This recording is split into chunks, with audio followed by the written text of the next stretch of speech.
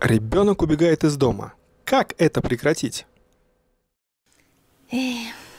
Надо понимать, что ребенок убегает из дома, это может быть несколько причин, да, так же как разные дети, так и причины могут быть разные. Одна из причин, что ему тесно, да, то есть, например, дома есть очень много замечаний, ограничений, наказаний, условий, это не трогай, это не бери, этому не прикасайся, это не задевай, сюда не садись, сюда не вставай, да, ребенок, который любознательно активный ребенок, он может чувствовать, что просто он, он, он не находит среду для выживания, да, и такой ребенок, он пытается разными путями что-то сделать, всегда наталкивается на запрет, и он убегает из дома не потому, что он хочет вызвать инфаркт у родителей, что он против э, ненавидит их и так далее. Просто ему тесно.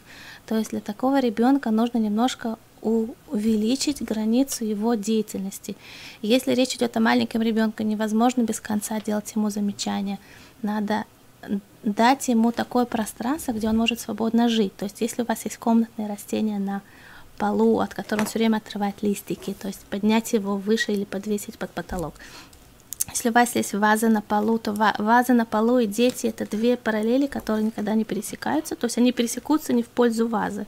То есть поднять все бьющиеся, если вы очень любите что-то ставить на полу или низко на полках, это замечательно с точки зрения дизайна, но это совершенно ужасно с точки зрения деятельности детей. То есть сделать такое, создать такое пространство, где маленький ребенок может бегать, прыгать, ну, может быть, бегать нет, и я не говорю о том, что он будет дома ездить на велосипеде, только если у вас большой коридор, но как, о чем-то он может жить и развиваться, не натыкаясь постоянно на замечания родителей.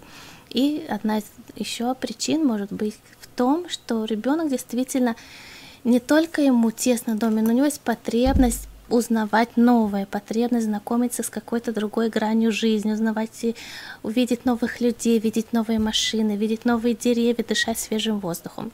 То есть таким ребенком, может быть, надо чаще гулять и давать ему возможность бегать, прыгать в каких-то парках, кувыркаться, заниматься.